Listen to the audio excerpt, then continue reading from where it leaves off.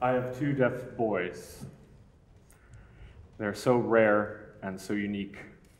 I'm blessed, and they are blessed because they can play with their sign language in their home environment, which is a safe space for them. When I watched them sign, I realized what a treasure sign language is, and I've thought about how to preserve it, and I've realized it's through the arts. My objective is simple. I just want my boys to comprehend their place in the lineage of the language and the richness and the complexity of it. As I was growing up in eighth grade, I wrote a story, and the teacher offered me two options whether to sign that story to the class or to speak it. And I chose to speak it at that time. Because through my upbringing, I had been told repeatedly that speech was superior while sign language was sidelined. And I had never been taught to translate from the written word into a signed performance. And growing up, I never had any deaf role models until I was 16 years old. And for the first time, I saw a deaf poet, Peter Cook. And his linguistic expression just blew my mind sky high, such that when I landed, I had this realization about what my thoughts were about sign language being so simple and for communication only. I realized that it had these other modalities, that it had this depth and this fiber to it. I became a teacher, and I taught kindergarten through third grade, I taught sign language to deaf students. But that three times of exposure per week for 45 minutes was those students' only safe space to play with language, to experiment, and to build on their concepts. Can you imagine not having any time outside of that, and returning to their home environment, potentially without communication, as compared to my boys, who are utterly privileged? But I don't want to limit them to the two role models of myself and my wife. I would like their diet of role models to be varied and full. Just as you wouldn't feed broccoli consistently every day to the child, you'd want to provide them with a varied diet of fruit and vegetables, because the more nutrition you're able to offer them, the healthier their development. Because what happened to me should not happen to any other deaf children. That's why I left the classroom and came to the world and founded my own Deaf Poets Society, one component of which, of three, is ASL Slam. The mission of which is to provide a platform to create a safe space for the deaf community to play with their language of signs and to learn to play and to have fun with that and we pull out, uh, we pull in other talent and other artists to express themselves on stage so that they can share their work and inspire that audience because we want to seed the next generation of talent. And we want to water those seeds and grow them up so that we can have more deaf poets and storytellers and role models. Another component of that Deaf Poet Society is establishing additional chapters of ASL Slam in cities around the country with the same mission as the home event. And then the third component is touring around the world. We just went to Jamaica, I just went to Cuba and Norway, and I'm going to Australia next. Regardless of various eco socioeconomic statuses of those places, we are traveling and bringing that mission to those places. You know, each country around the world has their own sign language, whether Australia or any of those other places I mentioned. So we use international sign to communicate, to respect their language. And I have a, roster of poems in a visual vernacular which makes a more image-based approach so that we can reach out to those international deaf communities around the world.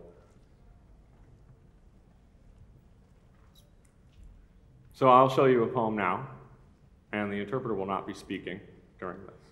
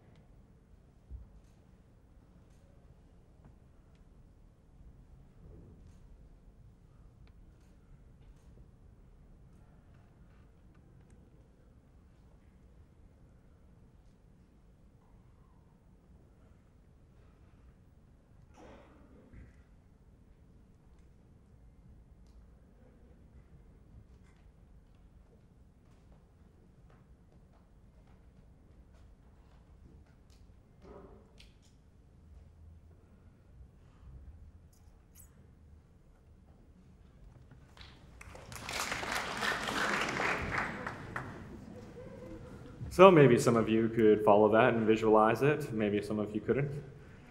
But this is visual poetry. I feel like it's a, a visual, a soundless visual musical composition. And this poem was the first poem that I crafted in the visual vernacular that had that built-in meter to it and rhythm.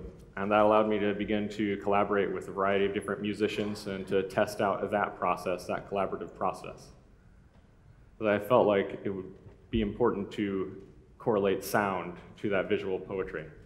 And then I worked with the Merge Art Collective. A woman named Mia at that organization asked me to compose a poem, which I did, gave them the video, and she went through the poem and composed a score to match up with it. And then we teamed up with four musicians and rehearsed repeatedly until it was polished. And of course, coming here to Vienna, I brought the score and met two Austrian musicians. So I would like to welcome them to the stage so that we can show you that collaboration live here.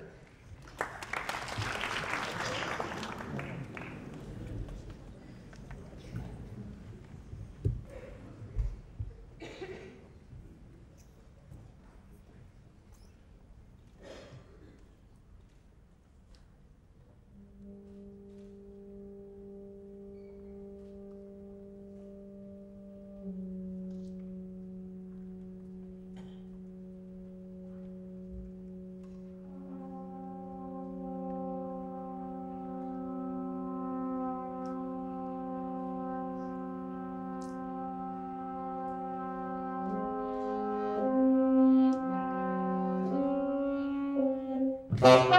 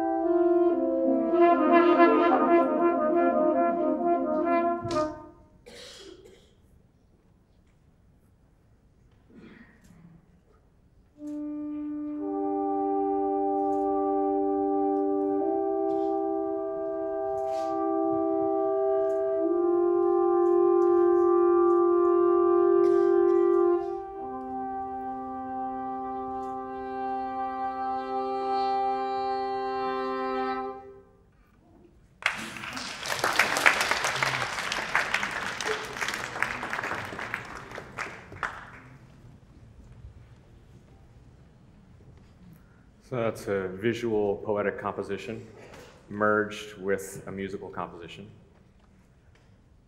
Right. And the goal of that is to be able to reach out, not just to international deaf community, but also to the broader hearing community, so that you all can see and understand the richness and the complexity that sign language has within it. It's badass. So now I want you, as you leave, to go seek out your deaf communities, to collaborate with them, and make the world a safe space. Just as I want my boys to continue the lineage of the language, we want the entire world to be a safe space for the deaf community.